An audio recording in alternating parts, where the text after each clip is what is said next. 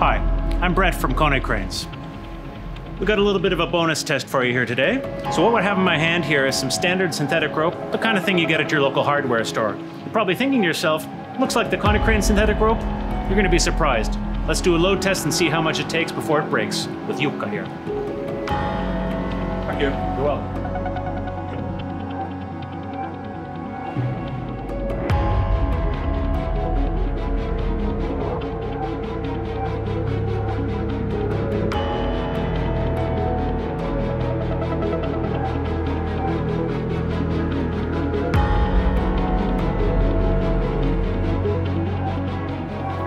So there you have it. Now, I'm not going to lie to you, I'm a little bit disappointing. I was kind of hoping this thing was going to go snap and bang and something like that.